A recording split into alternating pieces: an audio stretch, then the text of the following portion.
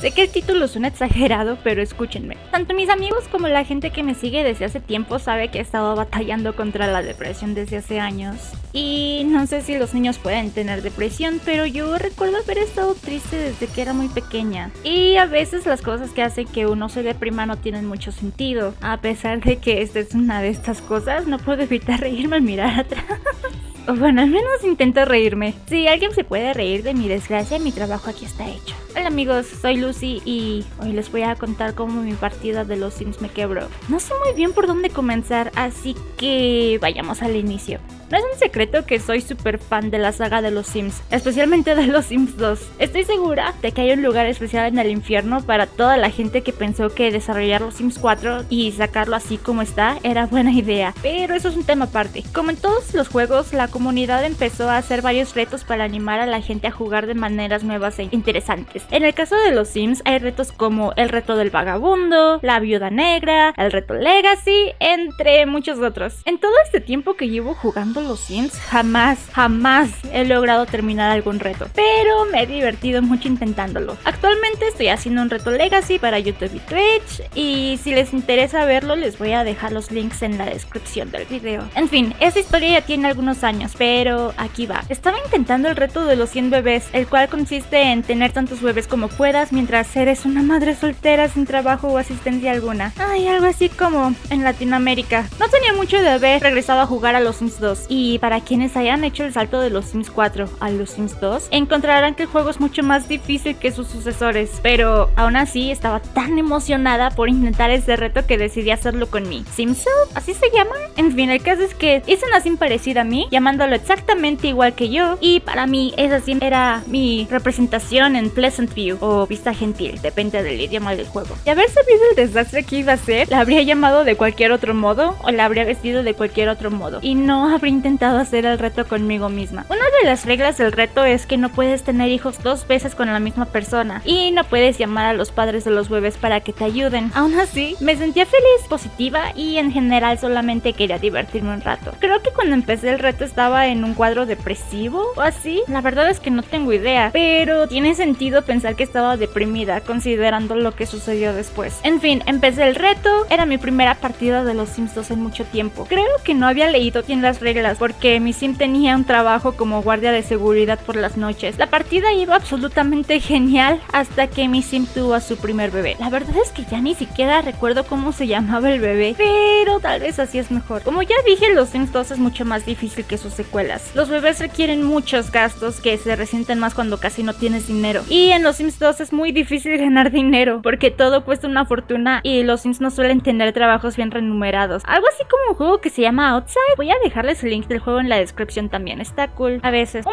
bebé, además de comida, amor y muchos cuidados, necesita una cuna y una mesa de cambio, los cuales conllevan un gran gasto que se resiente más cuando casi no tienes dinero. Mi sim estaba preparado para esos gastos, porque era un personaje nuevo, casi no tenía habilidades y yada, yada, yada. Las cosas iban bien por un tiempo, hasta que un día Sim Lucy debía volver a trabajar. En los Sims 2 no te dan muchos días de vacaciones y no podías faltar sin razón alguna. Cuando intentaba mandarla a trabajar, mi sim me decía, sé que tengo otras responsabilidades, pero no soy capaz de dejar a las criaturas solas. Creo que intenté llamar a una niñera, pero no recuerdo si o no tenía dinero para pagarle o si jamás llegó, lo cual ocasionó que despidieran a mi sim por faltar al trabajo. Intenté no asustarme mientras veía cómo las cuentas de la casa sin pagar se acumulaban, hasta que recordé algo importante. Los sims pueden tener negocios en sus propias casas. ¿Quién necesita trabajo formales de todos modos? Todo empezó a irse abajo a partir de aquí.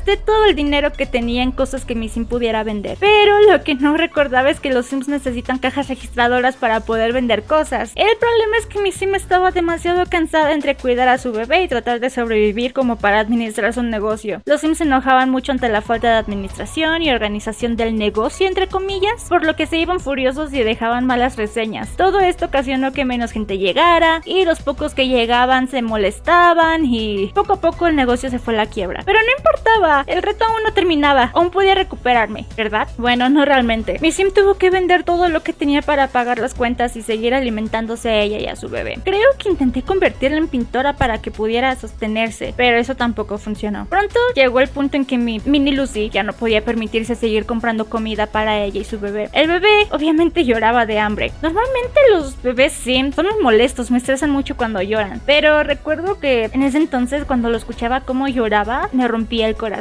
Por fortuna los bebés sim no pueden morir, pero un trabajador social llegó y se llevó a mi bebé para evitar que se quedara en los huesos. Por si fuera poco, mi sim no paraba de llorar desde que se lo llevaron. No lloraba de hambre, sino que lloraba porque se habían llevado a su hijo y no volvería a verlo. Y a este punto, yo seguí intentando arreglar las cosas dentro del juego. Creí que si mi vida era un desastre, la vida de mi sim no tenía que serlo. Sin embargo, mi sim no me hacía caso de lo deprimida que estaba. Lo único que hacía era despertar, llorar hasta quedarse dormida y repetir, hasta que un día ya no pudo más y murió de hambre. La parca, como normalmente hacen estos juegos, sacudió la cabeza y recolectó el alma de mi sim y me regañó. Apareció una ventana diciendo que, hasta donde la propia muerte sabía, los Sims 2 era un simulador de vida. En esa pequeña ventana emergente me regañaba por haber matado a todos los Sims en el solar. Y aunque esto puede resultar gracioso en otras circunstancias, en este caso ya no pude más y dejé mi computadora para irme a llorar. Uno de los tantos problemas de la depresión es que no te deja como ver la imagen completa y aparte de eso, todo tu estima está en la basura casi todo el tiempo. Aún me acuerdo que estaba hecho un mar de lágrimas, mensajeando a mi novio, diciéndole cómo me fue en mi reto y cómo vi mi futuro dentro de ese montón de píxeles. Y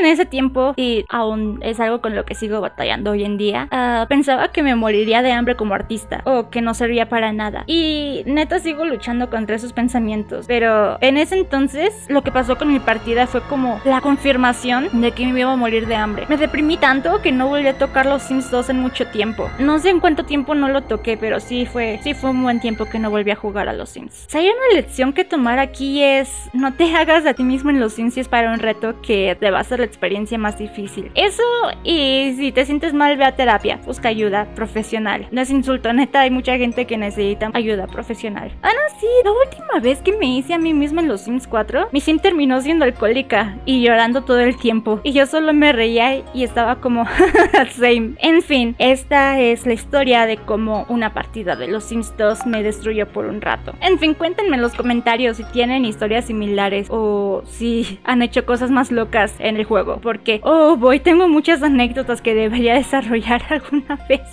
Normalmente mis partidas son como telenovelas enteras y de verdad debería tomar esas ideas y desarrollarlas alguna vez. Son buenas, te los juro. Pero por el momento, gracias por escucharme rantear un rato y recuérdense que todos los viernes hay video nuevo. A los lunes, miércoles y sábados estoy haciendo stream en Twitch a las seis y media de la tarde, hora del centro de México. Y creo que eso es todo por ahora. Hasta luego. Bye.